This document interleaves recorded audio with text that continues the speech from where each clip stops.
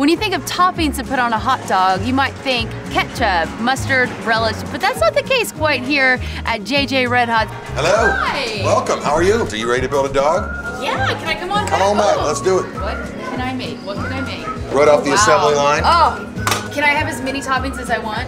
Uh, you may within reason. See the color and the presentation. Oh, yes. Fantastic. Remember, don't diss the dog, Rachel. I will never diss the dog.